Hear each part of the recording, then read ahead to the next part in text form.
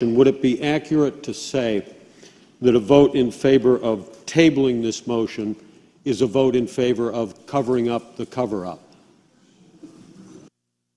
The member is out of order. Chair recognizes the representative from Warren, Representative Sutton.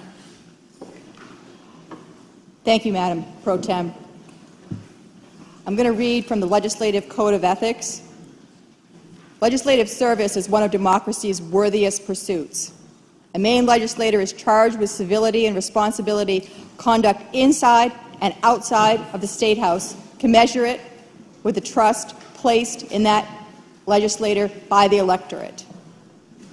When I was first elected to the legislature, I took this very seriously, and it was my understanding that everyone in this body was of the same mind, mindset. That is why I presented this House order into the investigation. We have two issues that we're looking at, basically. We have the safety and well-being of students, young girls, and other persons.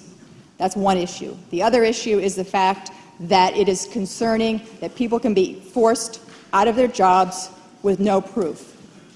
In the United States of America, a person is presumed innocent until proven guilty. These are the reasons that I would like to have this matter referred to the House Ethics Committee. I've strangely been unable to find much information about this committee. I don't understand why we would have a committee like this in existence if we were not to utilize it. We need to hold ourselves to a higher standard, and we need to act on this matter. The fact that Representative Bates has resigned may be interpreted in a variety of ways. I and others feel that this issue should be looked at specifically to determine how it was handled in the very beginning when leadership became aware of its existence. We owe it to the people of this state to ensure that they understand that every effort was made through communications and investigations, lines of questioning, what happened and when did it happen.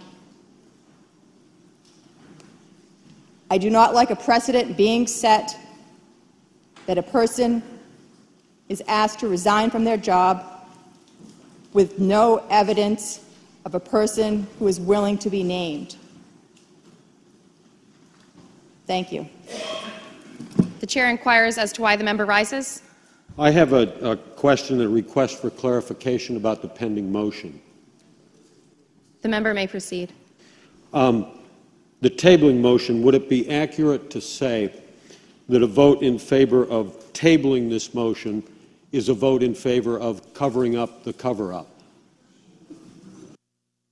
The member is out of order.